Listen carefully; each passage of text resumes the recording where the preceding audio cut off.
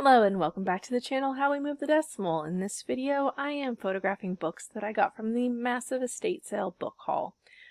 I am also apparently photographing my cat's butt. This is my cat Dylan. He is a tuxedo and he is very much attached to me at all times. I am his person.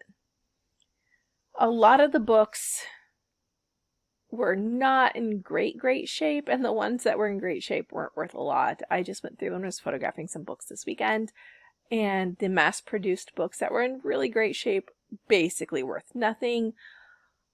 But they would sell at a yard sale. So if in the end i end up spending one to five cents per book i will just throw them in a yard sale. The ones that either i need to lot up or they need to just go this book is listed and I also have another coloring book listed. I don't know where the coloring books came from in the lot. Like I said at the very, very, very beginning, both my husband, myself, and my 14 year old were there and we were moving books all simultaneously. So it could have been in a box that they took, but it wasn't in my box. My boxes, I was upstairs mainly in the kitchen. So my boxes were the cookbooks where my husband and son basically went all over the house because when we said we would buy every book in the house for $80, they meant every book. We went through all of the rooms, bedrooms, downstairs in the basement, in the garage, in the kitchen, in the living room, in the dining room. We found books everywhere. There were books in bottoms of boxes, books on shelves, books behind tubs. I want to say it took us over two hours to find all the books and we filled my entire minivan up with them. My son had to carry a box of books on his lap, and I had to carry a box of books on my lap on the way home. So there is a bunch of books, and we haven't even gone through a quarter of them. So I'm estimating I paid less than five cents per book. I can sell them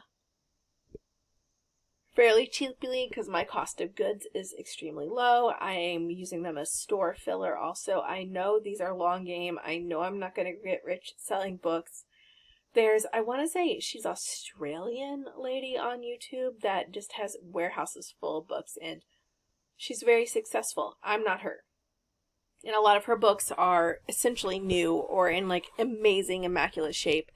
The cookbooks I did pull, they're used. They're well loved, which is great. That means this lady, and I'm going to assume it was the lady that used them, she used all of them. She had plenty of time to cook. I don't I don't even think I've used, well, I use one cookbook every year at Christmas, and that is a very specific cookbook put out by my grandmother's old job. And they like gathered up people's things. Uh, also to put into context, my grandmother died many, many years ago. She died, uh, I want to say 11 years ago. She only met one of my children very briefly, and my two youngest never had a chance to meet her. However, every Christmas they eat her Christmas cookies because that was the recipe she put in the recipe book and I'm sure I've told this story before in a one of these videos because I'm apparently a record on repeat, but I like the personal cookbooks for that. Now, when we got married, we got the the standard here's your newlywed present because apparently every new newlyweds needs a cookbook. We got the Better Homes and Gardens, you know, red and white checkered cookbook I don't think I've ever even opened it. But I have used my grandma's work cookbook to make her cookies. I've also made peanut butter cookies out of there too. She did not make that recipe, but she did use that recipe because she used that cookbook. It's actually her cookbook.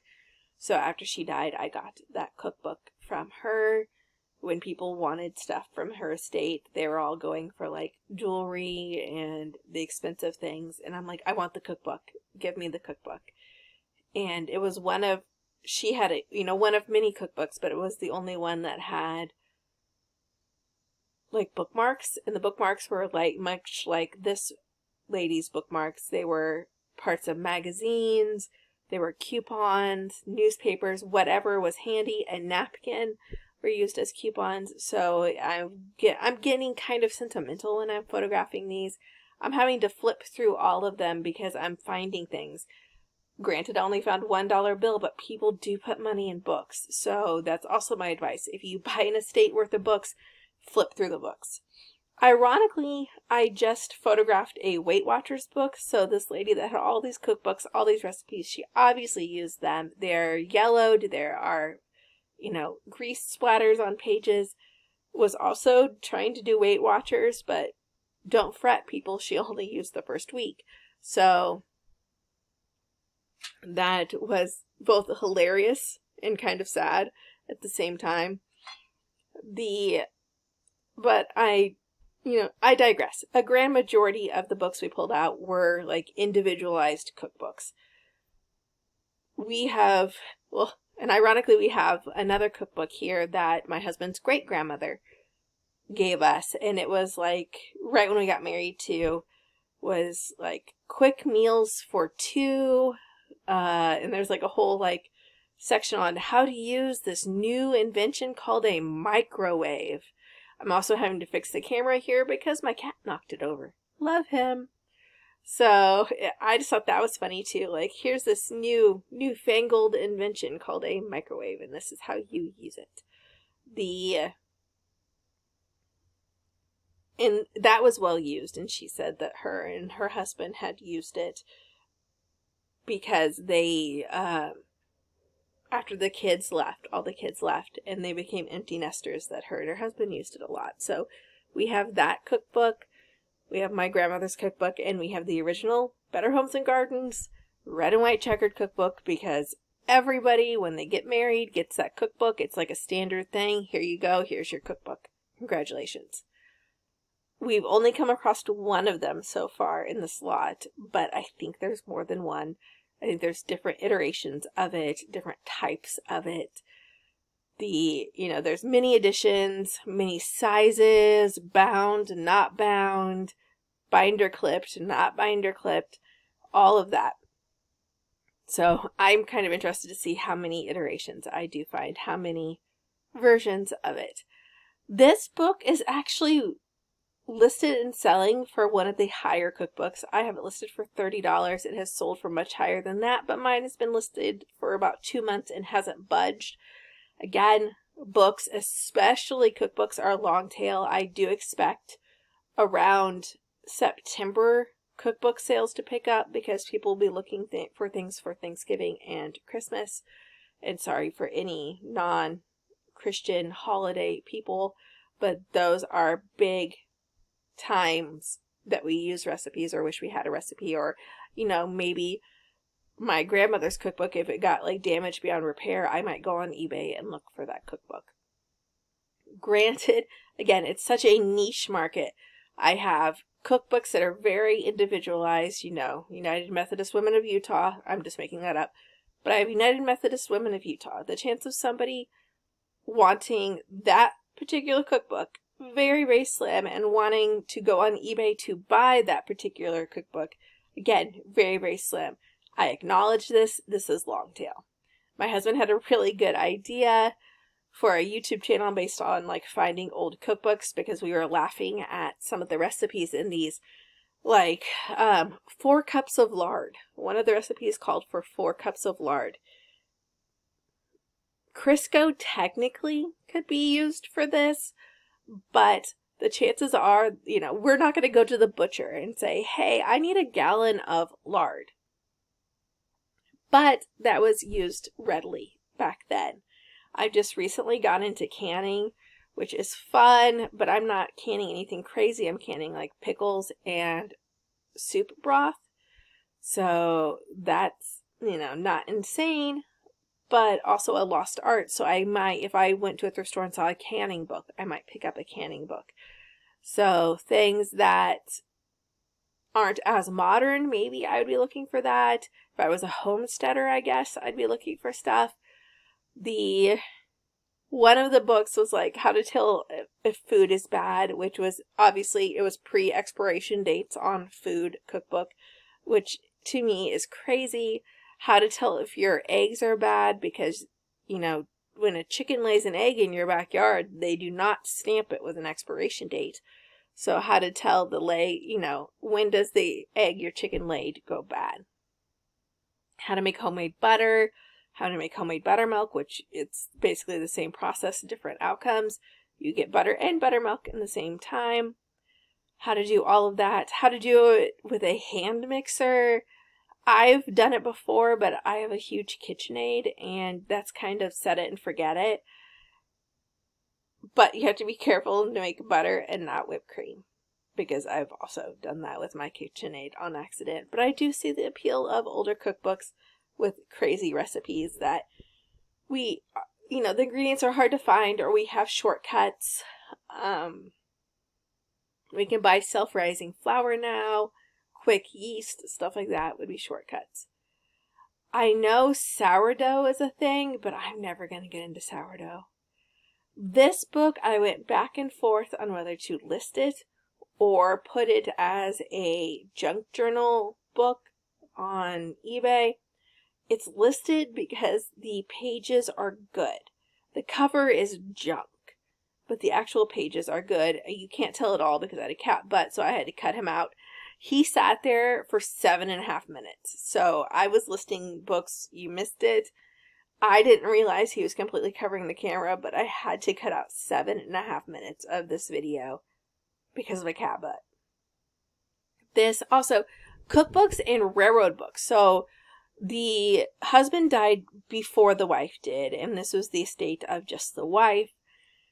I'm assuming the cookbooks are hers. They have her name written in every page, like at the front page of every cookbook. There was also a lot of railroad books. So I'm wondering if the husband and I, this is extremely sexist of me, I'm sorry, I'm wondering if the husband worked in the railroad. There were railroad like history books. There were like this that had union papers in it for working on the railroad, like they, they'd have the union meeting and then whatever the negotiations and stuff were, they would publish in these books and give them to the union members so they know what like the negotiations were and what their rights and what powers they have. There were several of these. There were several like health health insurance guides for the railroad and this this specifically is Norfolk, Norfolk Southern. This is one of the major railroads, if not the major railroad in our area that employs people. This family was local. So I'm not surprised. It is a large employer. My dad worked for the railroad for a while when I was little. So it's not uncommon for people to have family members in the railroad around here because it is such a major employer the but we are a very very blue collar town so there are a lot of factories and stuff so i found that i'm like i found that interesting i want to say this was from like 1973 or 1976 or something like that and this was from the 70s and a lot of the railroad books were from the 70s i didn't find that many that went into the 80s so it makes me wonder how like when did he die like how long has he been dead we found all of the railroad books in the garage. Again, stereotypical. And I did not find them. My son found all of the railroad books. We're like, we, and this was, we thought it, we were done.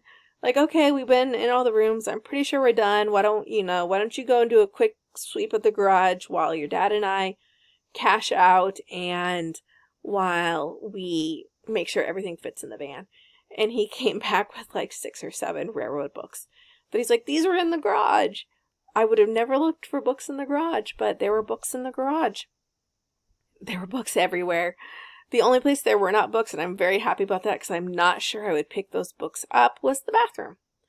Otherwise, every single other room had books.